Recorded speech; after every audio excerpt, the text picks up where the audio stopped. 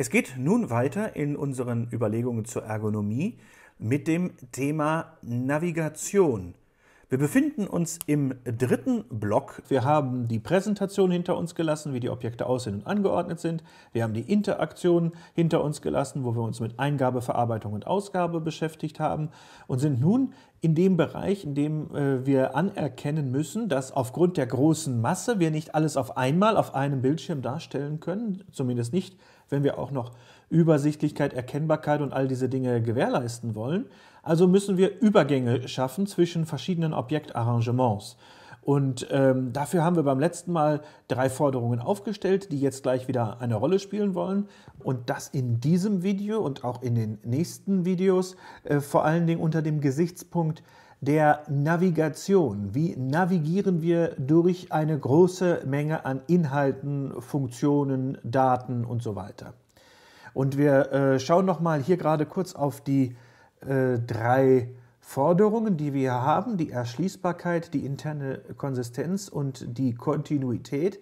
Diese drei haben wir jetzt die ganze Zeit im Hinterkopf, wenn wir uns um Navigationstechniken kümmern. Denn bei Navigationstechniken geht es ja vor allem um die Erschließbarkeit. Es geht bei Navigation immer darum, wie kriege ich es hin, dass dieses viele, was da ist, zugreifbar wird, obwohl ich es nicht alles gleichzeitig darstellen kann. Und das ist genau Erschließbarkeit. Und das muss natürlich auf konsistente Art und Weise passieren innerhalb der Anwendung. Und Kontinuität ist auch immer zu gewährleisten. Also ein plötzlicher Wechsel ist nicht angesagt, ähm, dass wir auf einmal den kompletten räumlichen Kontext äh, verlieren. Das ist dann dieses, dieser Effekt, dass wir auf einmal wo sind und nicht wissen, wie wir da eigentlich hingekommen sind. Das gilt es ja zu vermeiden. Das Problem, was hier dahinter steht, ist also, um das nochmal klar zu machen, einfach die große Masse. Wir haben in den allerseltensten Fällen solche äh, ähm, Systeme, wie da zu sehen sind, also solche Systeme, wo alles auf einem Bildschirm äh, zu, äh, zu sehen ist sondern meistens müssen wir uns mit irgendwelchen Zusatztechniken behelfen, um das alles zugreifbar zu machen. Wenn wir so ein einfaches System haben wie da, wo man äh, alle Elemente auf einem Bildschirm zeigen kann, dann haben wir natürlich mit der ähm, Erschließbarkeit gar keine Probleme. Denn wenn wir äh, Erschließbarkeit ins Extrem treiben, dann ist es quasi Vollständigkeit. Ähm, und Vollständigkeit, wenn wir das erreichen können, ist es natürlich toll. Dann brauchen wir auch keine Navigationstechnik. Aber das steht dann natürlich anderen Konflikten entgegen zum Beispiel der Übersichtlichkeit. Äh, wir äh, können nicht gleichzeitig übersichtlich gestalten, aber alles auf eine Bildschirmseite packen. Das geht in den wenigsten Fällen, weil wir eben viele Funktionen, viele Inhalte, viele Daten haben, die wir anzeigen müssen. Und dann müssen wir uns was einfallen lassen.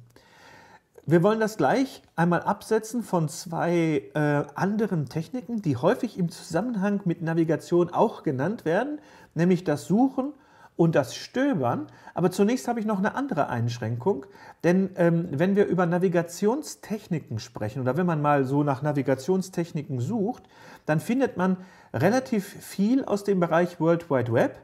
Und ähm, gerade in dem Bereich gibt es eine starke Vermischung zwischen Navigationstechniken, die eigentlich ähm, grafische Nutzungsschnittstelle sind und ähm, den Navigationstechniken, die direkt in den Inhalt eingebunden sind. Ja, natürlich, wenn ihr so eine Website habt und habt in der Website einen Link zum Beispiel zu einer anderen Website, dann ist das natürlich auch ähm, eine Möglichkeit des Navigierens von einem zum anderen. Aber es ist eingebettet in den Inhalt. Eigentlich ist das natürlich auch Nutzungsschnittstelle, aber über diese Art von Navigation wollen wir an dieser Stelle nicht sprechen, sondern uns geht es um eine Navigation, die eine extra explizite Nutzungsschnittstelle darstellt. Äh, da hilft diese Unterscheidung, die ihr hier seht, nämlich dieser Begriff des Chrome. Äh, Chrome, wenn man das heute hört, dann denkt man natürlich gleich an den Browser von Google. Aber gerade im Browserbereich ist der Begriff Chrome schon länger üblich gewesen, allerdings mehr so hinter den Kulissen.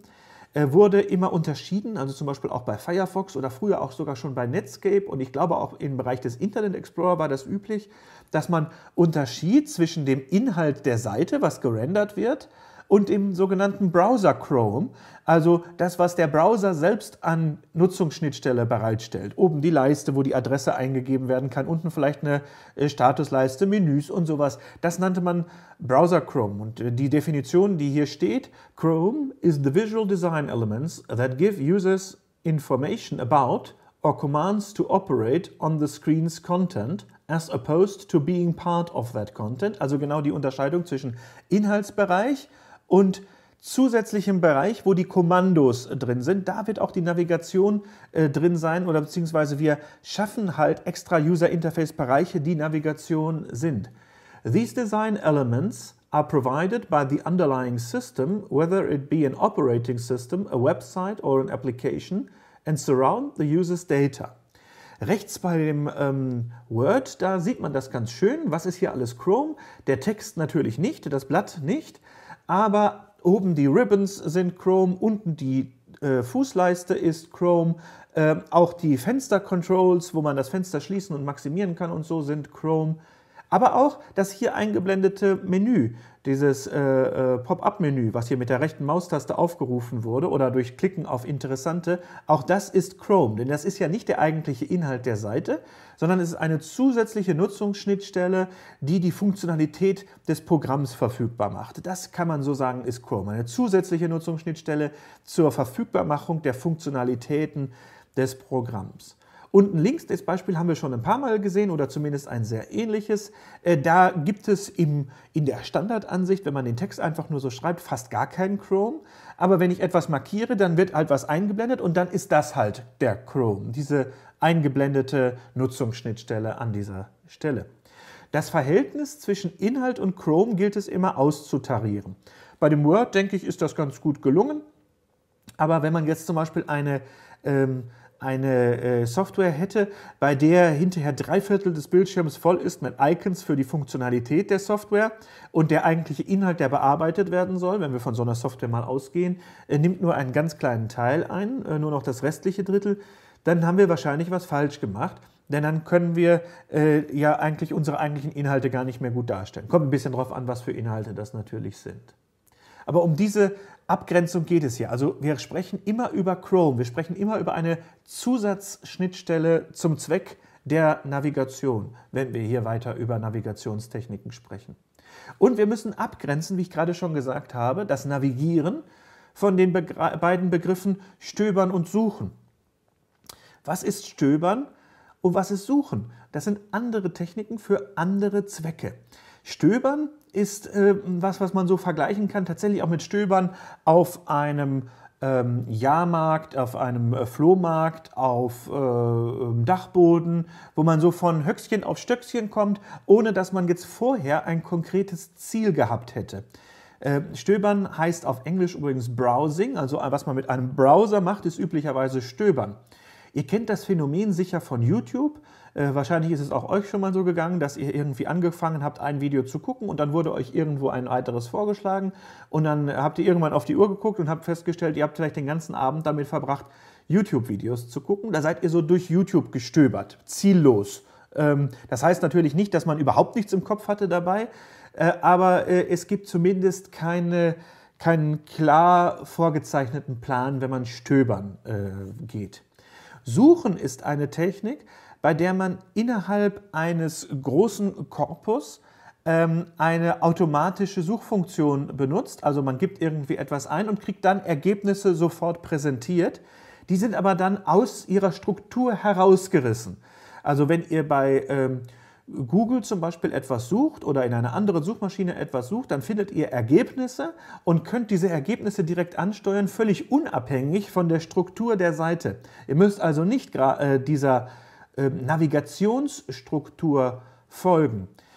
Äh, das ist äh, der Unterschied zwischen Suchen und Navigieren. Wir gehen jetzt hier über Navigationstechniken, also wie schafft man es, äh, ausgehend von einer Struktur, die irgendwie vorgegeben ist, zu den Inhalten, zu den Funktionalitäten zu kommen, die wir suchen.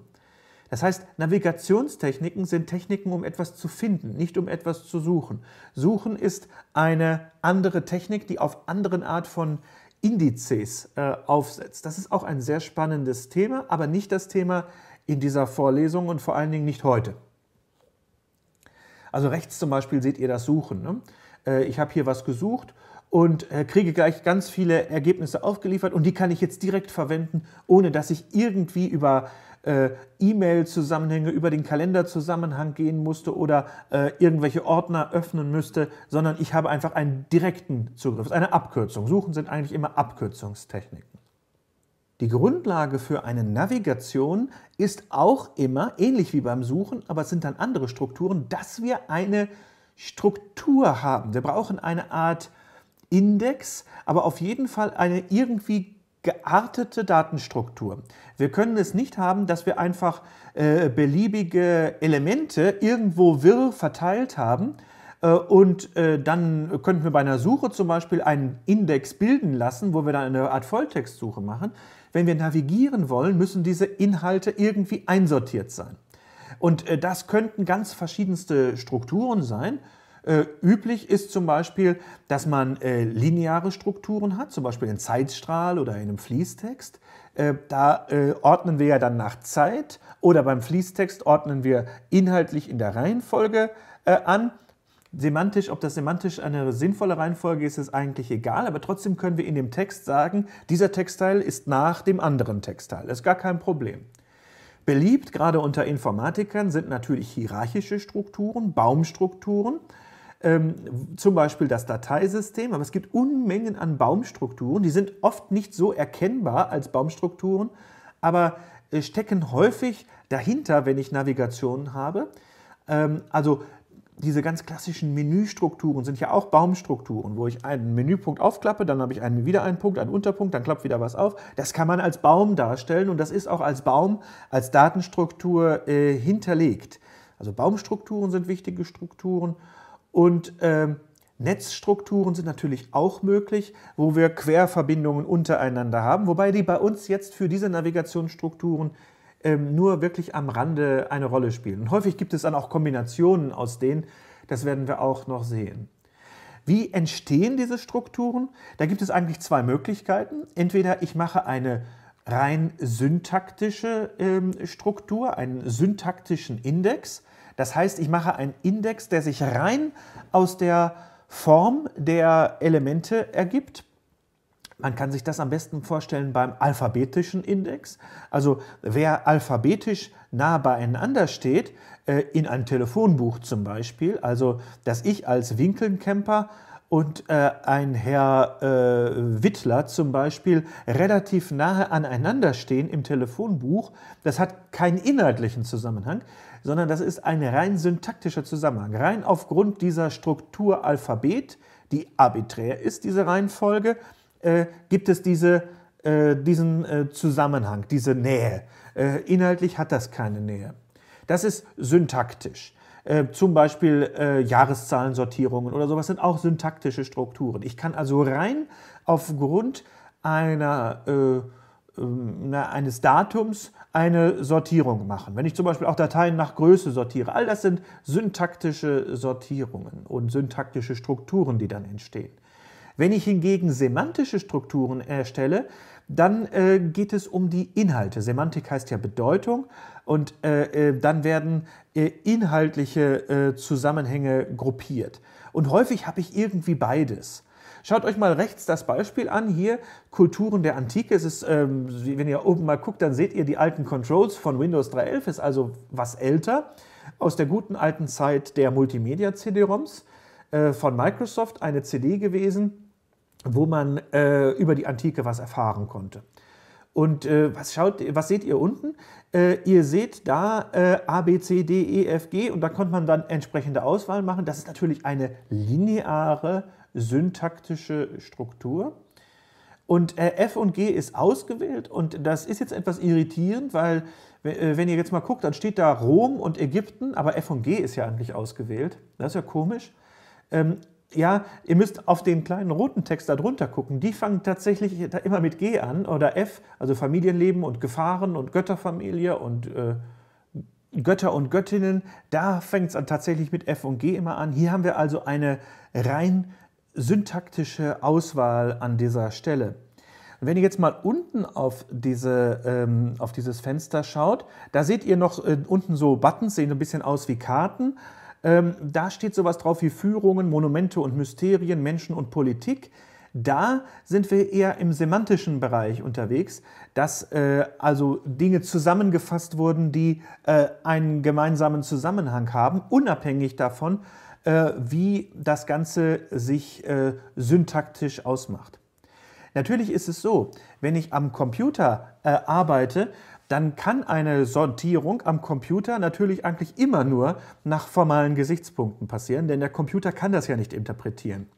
Das heißt, wenn wir jetzt zum Beispiel viele Elemente haben und verwenden so eine Technik wie Tags, dann bauen wir die semantischen Zusammenhänge in eine Struktur ein, damit der Computer dann als nächstes auf rein syntaktischer Art und Weise diesen, äh, diese Sortierung machen kann. Aber wir würden dann trotzdem sagen, hier handelt es sich dann um eine semantische Struktur, denn ein Mensch hat drauf geguckt und hat zusätzlich nochmal so eine Struktur erstellt. Es sind nicht Strukturen, die irgendwie aus dem Ding schon hervorgehen und die einfach nur durch eine automatische Auswertung entstehen können. Die Grenzen können manchmal etwas fließend sein. So viel an dieser Stelle schon für dieses Video als Einführung in das Thema Navigation äh, mit der Grundlage, dass wir diese Abgrenzungen machen. Worum geht es denn eigentlich? Es geht nicht um Stöbern, es geht nicht um Suchen und wir brauchen immer einen Chrome. Wir wollen also immer eine eigene Nutzungsschnittstelle betrachten zum Zweck der Navigation. Und äh, wir brauchen halt einen Index, der erzeugt werden kann, irgendeiner Art, semantisch oder syntaktisch und äh, auf verschiedene Arten und Weisen, also entweder linear oder als Baum oder vernetzt. Im nächsten Video wollen wir uns dann Navigationstechniken anschauen. Und zwar Navigationstechniken zur Ausschnittswahl. Das ist ein großer Bereich. Und äh, später kommen wir dann noch zu Navigationstechniken auf Indexebene.